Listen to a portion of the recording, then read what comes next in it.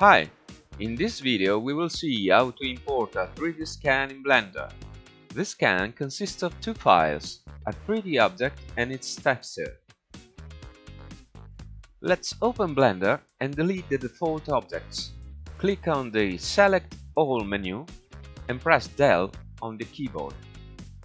From the File menu, we choose Import Wavefront OBJ. We navigate to our file, select it and click Import OBJ. Our object is imported, but we don't see it because it is placed outside of the current view. To show it, click on the View Frame All menu. We see that the scan of the shoe is not oriented correctly and is displaced with respect to the center of the axis. We select the model and open the side panel by clicking on the arrow we see that the size of the shoe is also off scale.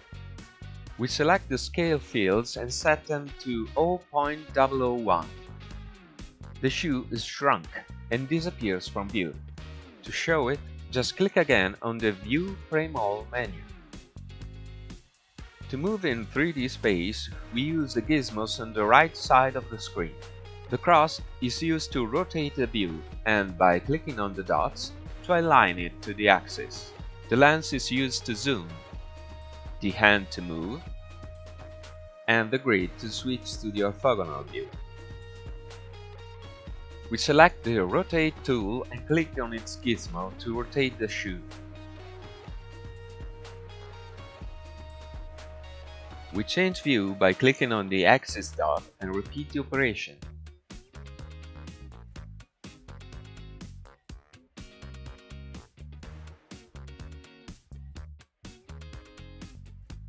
Select the Move tool and use its gizmo to move the shoe to the origin of the axis.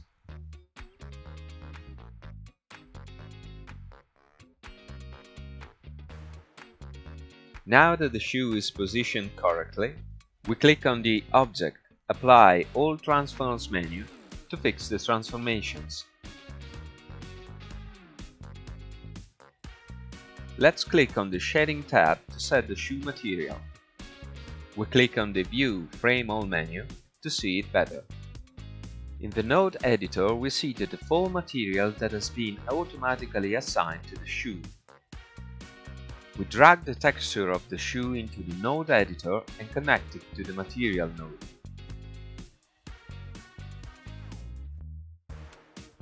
We set the following parameters roughness to 1, specular to 0.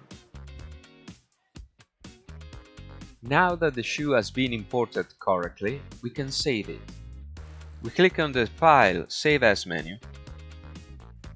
We select the Save folder.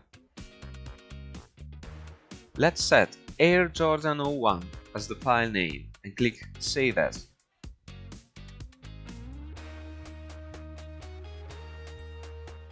Thanks for watching this video tutorial. I remind you to subscribe to our channel not to lose any news and I invite you to watch our videos for more information about AR Studio.